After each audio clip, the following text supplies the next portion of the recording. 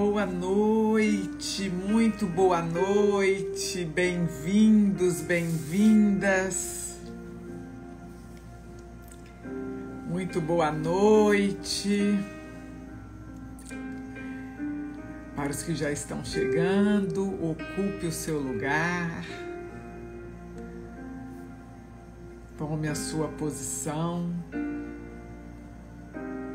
Seja muito bem-vindo, seja muito bem-vinda para o nosso momento, para o nosso encontro de reflexão, de respiração, de pausa,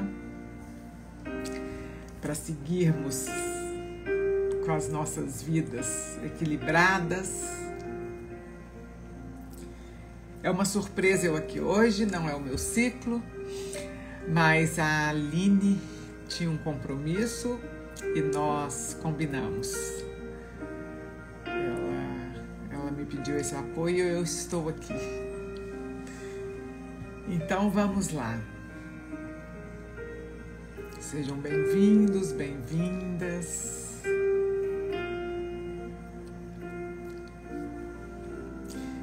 Para quem está chegando agora, quem começa a nossa roda, por agora, nós trazemos sempre uma reflexão, depois um tempinho de respiração. Basta você estar aqui disposto com a sua presença, disposto a respirar. É só isso. Então respirem, tragam a presença.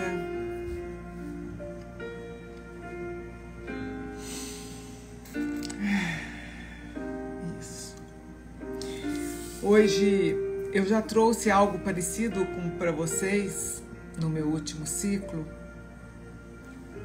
Olha, Laís chegando pela primeira vez, seja muito bem-vinda, Laís. É a nossa roda de meditação. Inclusive, hoje o, o Tadashi, na página dele, às seis da manhã, celebrou quatro anos de meditação. Isso, alguém aqui está falando.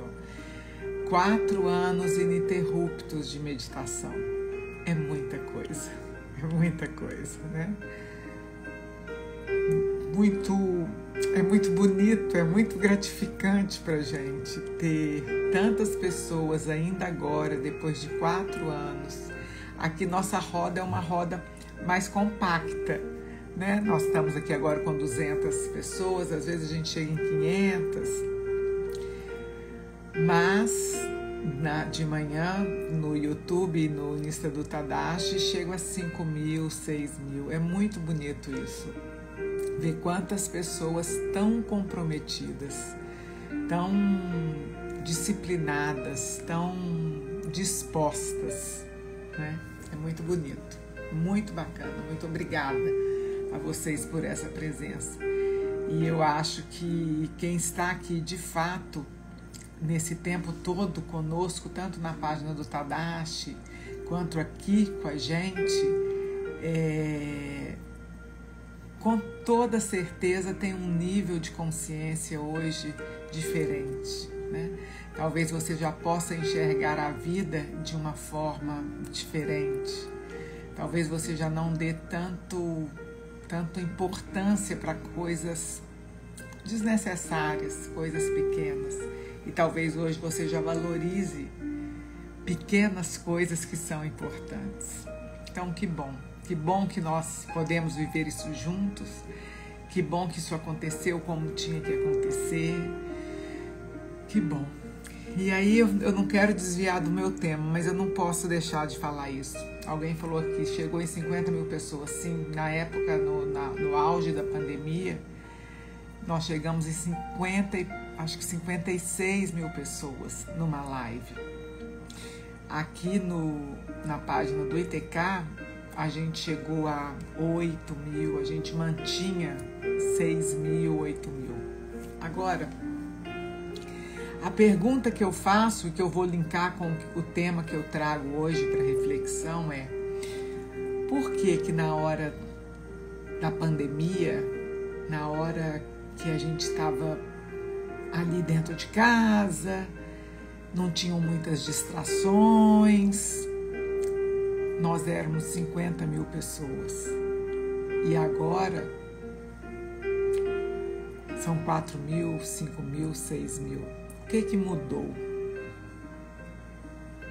Às vezes eu fico pensando que é igual aquelas pessoas que têm muita fé e acreditam na hora que o bicho está pegando.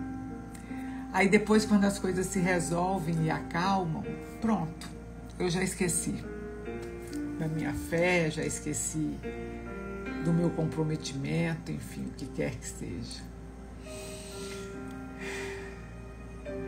Mas para quem persistiu, que são vocês no caso, com certeza tem um tem um, um olhar diferente para o mundo, né? Com certeza tem uma visão diferente hoje, uma expandiu um pouco, que é o que eu quero trazer aqui hoje. Eu falei um pouco de uma forma diferente na, na outra semana, mas eu vou trazer aqui agora. Eu li de uma pessoa é, prometendo uma vida sem limites.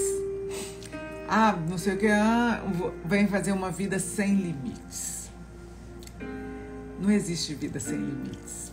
Pelo menos eu, para mim, dentro do que eu conheço, do que eu vivo, do que eu acredito, não existe vida sem limites. Limites são importantes. Limites são importantes para que a gente que a gente se coloque no nosso lugar, para que a gente possa saber o, o que fazer e o que não fazer. Sim, limites são importantes. Agora, o que não pode é a gente se colocar limites como como desculpas, como justificativas para eu não fazer o que eu preciso fazer. Então, vida sem limites não existe. Vida sem sofrimento não existe. Vida sem momentos tristes não existe. Também, vida sem alegria não existe. Você tem momentos, momentos tristes e momentos alegres. Não dá para falar assim, não, eu sou o tempo inteiro triste e infeliz. Não dá. Porque teve já, se não tem hoje, você já teve momentos alegres, você conhece a alegria. Aliás, você só conhece a tristeza porque você já viveu a alegria e vice-versa. Né? Você só conhece a alegria porque você já viveu a tristeza. Então, existem momentos felizes, existem momentos alegres, existem momentos de coragem, existem momentos de medo. O que nós não podemos é generalizar e tomar uma coisa como verdade absoluta. Então, vida sem limites? Não, não existe. Vida sem alegria? Não, não existe. Vida sem tristeza? Não, não existe. A gente precisa estar presente na vida com realidade. Estarmos presentes na vida com, com maturidade, de, de, a maturidade de um adulto. Não é mesmo? Essa positividade tóxica, que tudo é cor-de-rosa, tudo é lindo, isso só existe em filme ou para criança. Para nós adultos, não. O problema é que algumas pessoas é, é, colocam essa positividade tóxica como algo muito bom, benéfico e positivo. E aí, se você não vive nessa positividade tóxica, você está fora do, do contexto e você se sente mal. Você se sente ruim, você se sente menos porque você não não está o tempo todo assim. Nós não somos assim, nós não temos como ficar assim o tempo inteiro. E nós precisamos aprender a navegar sobre a situação. Senão nós, todas as vezes que a gente tiver um desafio, todas as vezes que a gente estiver passando por um revés na vida, por, um, por uma tristeza, por um momento ruim, um momento de dificuldade, a gente vai se sentir péssimo. A gente vai sentir que a gente não está adequado, que a gente é inadequado, que a gente está fora do padrão, que a gente não tem força, que a gente não pode isso, que a gente não consegue.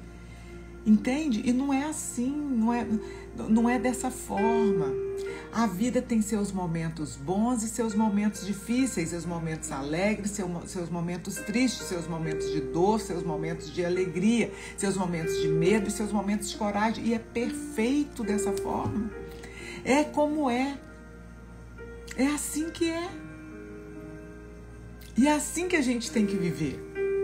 E a gente tem que saber que nós, quando nós estamos no momento ruim, isso vai passar. Acredite, tenha fé, tenha força, isso vai passar. E quando você está no momento bom, isso também vai passar. Então, viva cada momento. Viva cada momento. No Leader Training, a gente tem uma dinâmica lindíssima, lindíssima. Quem aqui já fez vai saber. Eu não vou dar um spoiler, porque eu sei que muitos aqui ainda vão fazer, se Deus quiser. Porque é realmente um passo, uma transformação que eu acho que todos merecem e devem fazer. Mas enfim, nós temos uma vivência lá muito, muito, muito bonita, uma vivência transformadora e que a gente coloca para as pessoas como se elas soubessem qual que vai ser o último dia da vida delas. Então a gente faz uma pergunta: se você soubesse que esse é o último dia da sua vida, como você viveria? O que você faria? Como você viveria? E às vezes a gente fica muito surpresa como as pessoas fariam coisas tão diferentes, tão diferentes, né? E às vezes a gente ouve isso. Nossa, eu faria tudo diferente. Nossa, eu abraçaria mais os meus filhos. Nossa, eu me alimentaria melhor. Ah, eu daria, eu leria mais e ficaria com poucas distrações que não me agregam nada. Ah, eu, eu sustentaria melhor a situação do meu casamento. Eu eu faria lições de escola com meus filhos, eu cuidaria mais da minha saúde física, eu abraçaria mais os meus pais, eu perdoaria mais. A gente ouve muito. Eu perdoaria mais, eu amaria mais e, e tudo. Aí a pergunta que eu faço é assim: se você sabe tudo isso que você faria diferente, por que você não faz isso agora? Por que você teria que esperar se saber que hoje seria o último dia da sua vida? Não faz sentido. Poxa vida, se você sabe que isso tudo você poderia fazer diferente, você poderia fazer melhor, você seriam coisas que, que você estaria arrependido, pelo amor de Deus, você já sabe disso agora. Para que que vai esperar morrer para fazer? Para que que vai esperar chegar assim um minutinho antes de a luz se apagar para falar, ah, eu devia ter amado mais, ah, eu devia ter cuidado da minha saúde, eu devia ter ligado mais para os meus pais, eu devia ter brincado mais com os meus filhos. Você já sabe disso hoje, concorda? Se você está falando isso, você já sabe disso hoje. Por que você não faz? Agora imagina se você soubesse que, seria o último dia da sua vida. Então sejam muito honestos com vocês. Não precisem nem colocar aqui para ninguém ver. Mas sejam muito honestos com vocês. Se você soubesse qual seria o último dia da sua vida. Uma coisa que você faria diferente. De, escolhe dentro de você uma coisa que você faria diferente. Uma coisa importante que você faria diferente. E aí, a hora que você escolhe essa uma coisa que você faria diferente, agora eu te pergunto: se você já sabe que gostaria de fazer diferente, por que não faz? Por que não faz? Aqui ela colocou: gostaria de estar na frente do mar com a minha família. Então pode ser que nesse momento não é possível isso, porque eu moro longe do mar, porque eu tenho que trabalhar, porque eu não tenho dinheiro para ir mudar agora para um apartamento diferente para o mar. Ok. Mas você já sabe que era isso que você gostaria? Ah, eu sei, era isso que eu gostaria. Comece a trabalhar hoje, agora, para o que você gostaria. Gente, não, não olha, perdoaria. Então, se você já sabe que está te fazendo mal, e eu já fiz live aqui sobre perdão, uma atrás da outra. No meu workshop, A Força do Seu Lugar, eu trabalho essa questão do perdão o tempo todo. No Leader Train, a gente trabalha essa questão do perdão muito fortemente. Agora eu te falo, se você já sabe que é isso, por que não fazer agora? Porque essas coisas que nós não estamos fazendo agora nos aprisionam, nos, nos tiram nossa luz, Então faz agora. Tenha essa oportunidade. Faça agora, porque bem de verdade, você não sabe quando vai ser o último dia. E quando chegar este último dia, não queira estar arrependido. Não queira que ele seja triste assim, poxa, eu devia ter feito isso, eu devia ter feito aquilo. Não. Que seja o último dia falando assim, ok, eu fiz o meu melhor. Eu não passei a brinquedo aqui. Eu passei fazendo o que eu tinha que fazer. Eu ocupei o meu lugar, o lugar que com tanta honra meu pai e minha mãe me colocaram, Deus permitiu que eu ficasse. Eu fiz um bom trabalho. Não é muito melhor do que eu estar tá lá cabisbaixa e, poxa, eu tinha que ter feito isso, eu tinha que ter feito aquilo.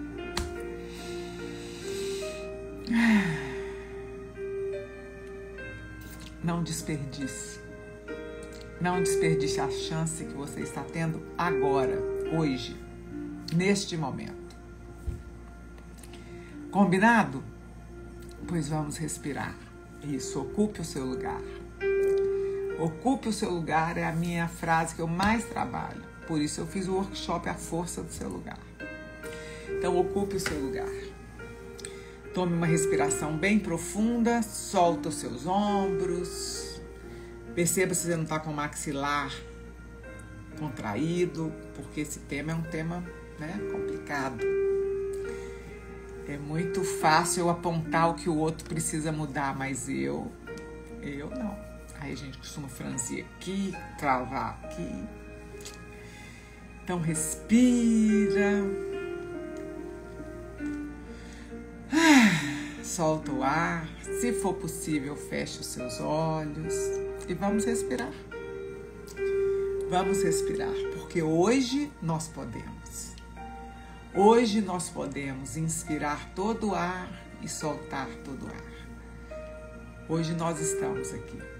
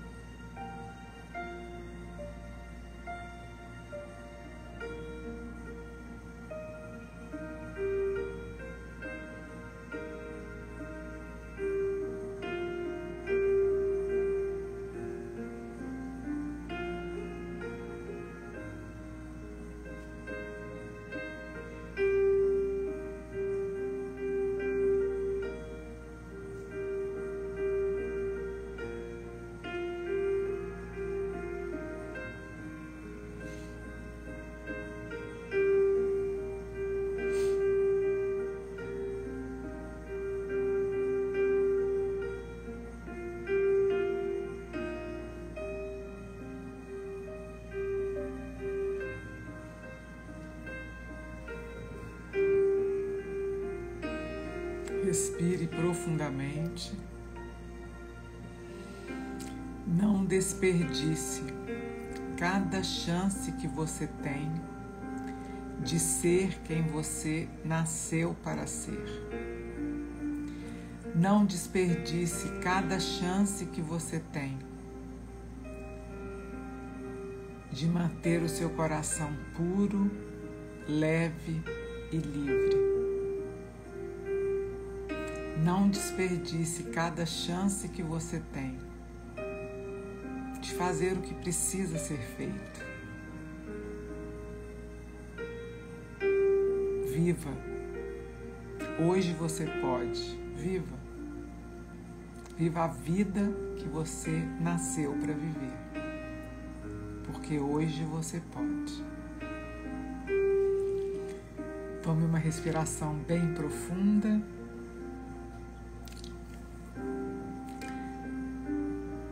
Integre o que faz sentido, integre o que conectou com você, conectou com seu coração. Integre o que foi útil e bom. Obrigada por mais esse momento. Sempre muito bom compartilhar aqui um pouco com vocês. E aproveito para lembrar que amanhã e a próxima terça nós não faremos o ITK Comenta. Tá bom? Nós saímos, a família inteira sai de viagem amanhã. Então, na manhã e a próxima terça nós não faremos o ITK Comenta. Nós voltamos na primeira semana de abril. Combinado? Gratidão, pessoal. Muito obrigada. Amanhã a Aline continua com vocês e nos vemos. Um beijo, fiquem bem.